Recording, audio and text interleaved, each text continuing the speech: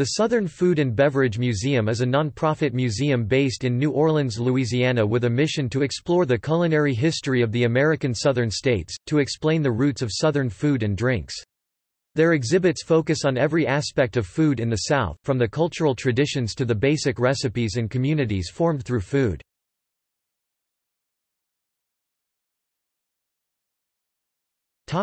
A brief history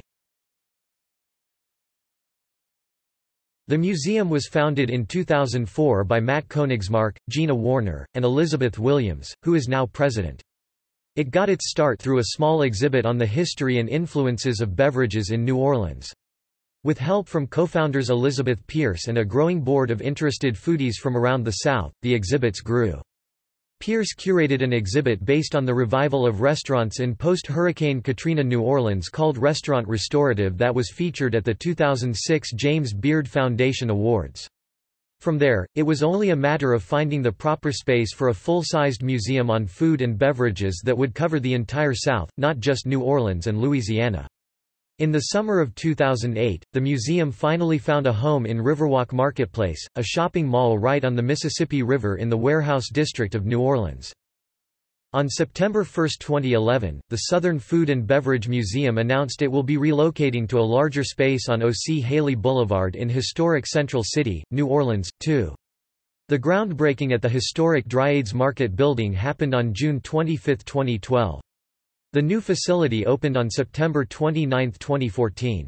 Plans for the new location include a full-service restaurant, a children's gallery, a culinary innovation center, and an exhibit for every southern state. In May 2011, Southern Food and Beverage Museum was named one of the five great museums devoted to food by Saveur magazine.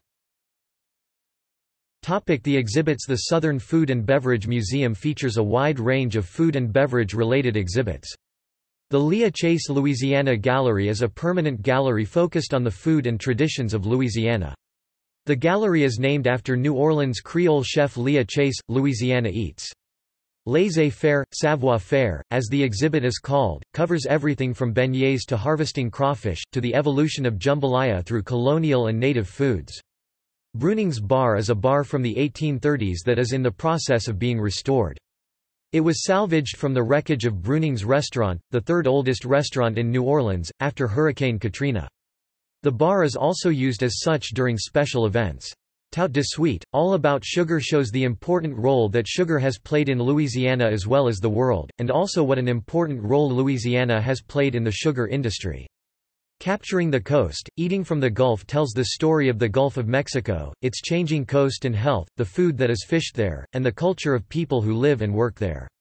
It explores the food of the Gulf, the history of fishing in it, and what the future can hold in the aftermath of the Deepwater Horizon oil spill in 2010. The Delgado Community College Culinary Arts Program is the focus of a new exhibit that will become part of the permanent collections of the Southern Food and Beverage Museum. Videos of class demonstrations, student projects, and more from the program will showcase the amazing work and delicious flavors that have come out of Delgado.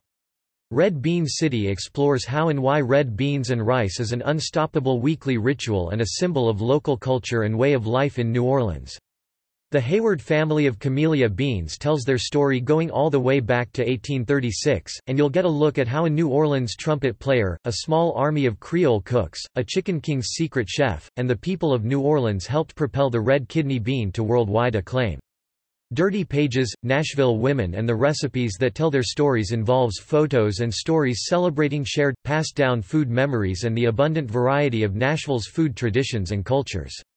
It originated at the Nashville Farmers Market with accompanying events celebrating the legacy of well-loved recipes.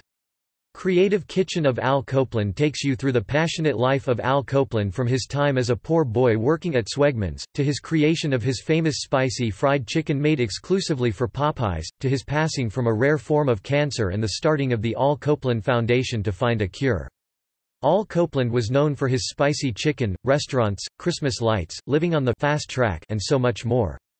Gallery of the South, States of Taste a collection of exhibits on the food and foodways of each southern state. The exhibits, created by a group of curators from each state, explore and celebrate the food items, recipes, people, brands, dishes, agriculture, industry, cooking techniques, and everything else that is woven together to create the quintessential food geography of each state. The exhibits are both historical and modern, revealing what makes each state's food and culture of eating unique. In addition the exhibits celebrate the food traditions we all share to create a distinct regional food culture that can be so clearly described as Southern. Galatoire's Restaurant, an exhibit showcases artifacts and memories from the restaurant's history from a glass celebrating the restaurant's 100th anniversary to letters from Julia Child recounting her visits to Galatoire's in the 70s. Together these pieces tell the story of an important landmark in the South's culinary history. The Menu Project is an ongoing exhibit and call for menus from restaurants throughout the South. These are useful in highlighting similarities and differences throughout the South, as well as following trends and preferences in the food world.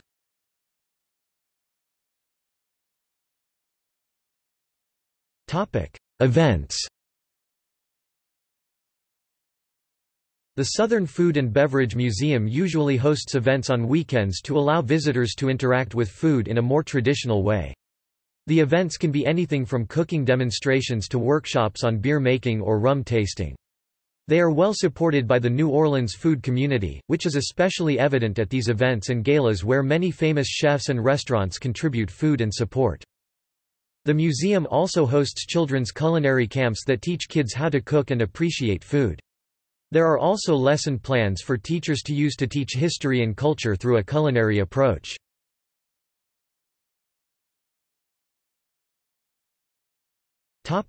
Publications Red Beans and Ricely Yours, the museum reprinted Christopher Blake's 1982 cookbook in both 2005 and 2006. It is a collection of traditional recipes from New Orleans, beginning with Louis Armstrong's favorite, the classic red beans and rice. Room in the Bowl, in partnership with the Culinary Trust of the International Association of Culinary Professionals IACP, the museum published this collection of essays and photographs examining the signature dish of Louisiana, a pot of gumbo. On the Line is SoFab's online blog, with recipes and features by multiple contributors, all experts on food and food ways of the South. Liz Williams, museum director, writes the Bread and Butter feature, which focuses on her expertise in food law.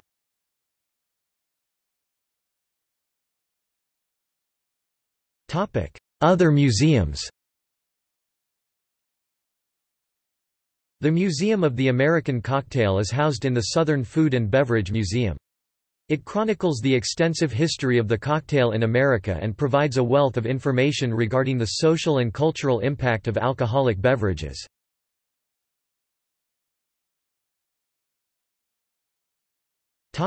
SOFAB's Culinary Library and Archive In late October 2013, SOFAB opened a culinary library on OC.